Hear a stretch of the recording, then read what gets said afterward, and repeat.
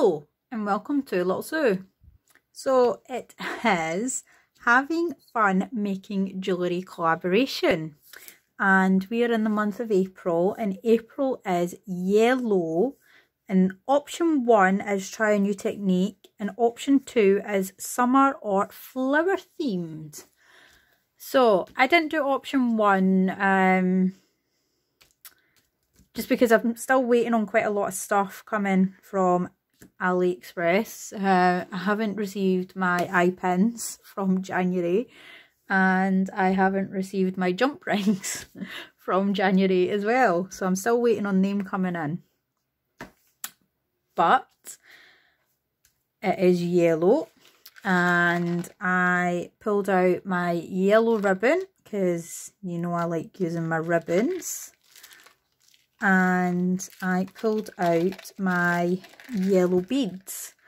Now, I don't have an awful lot of yellow, mainly because yellow's my least favourite colour.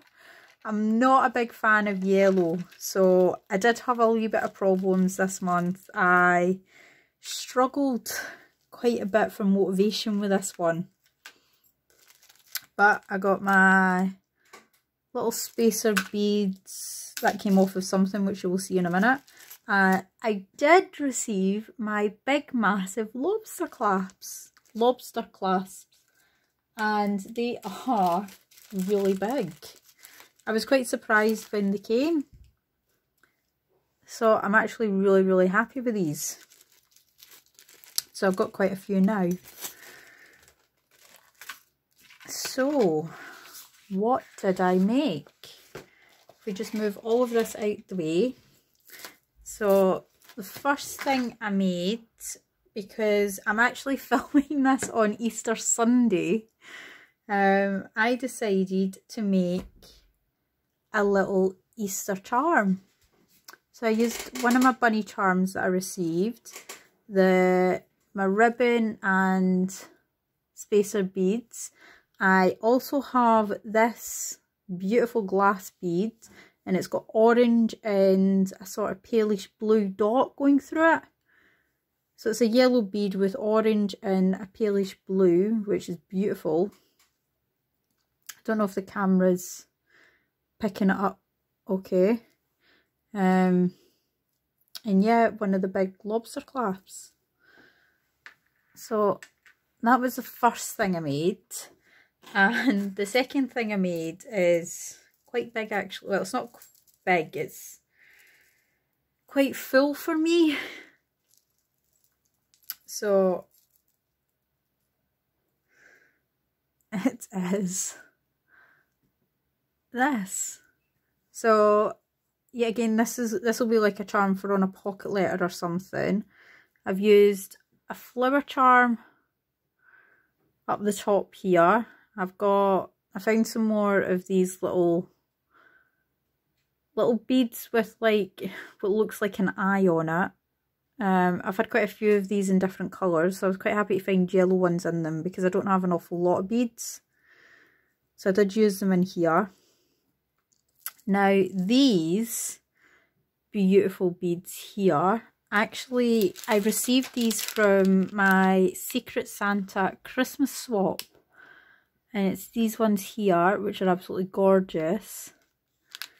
And I actually forgot I had these.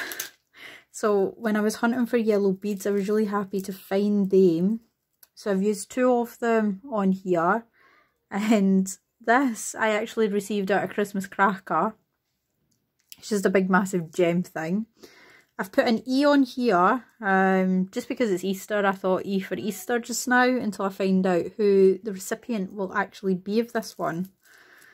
But it's quite big and chunky. Well, for me this is.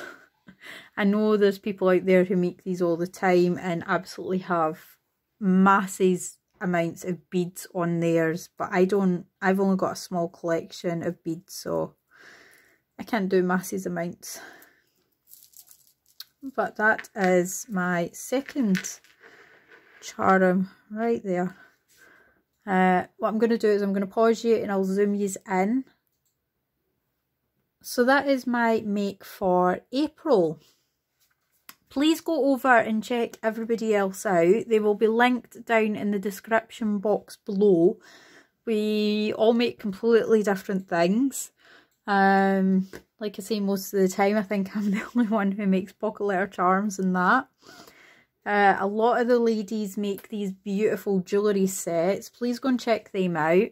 Um, subscribe to them if you're not already subscribed. And thank you so, so much for watching. Please give this video a thumbs up and leave a comment down below and I will see you all again soon. Bye for now.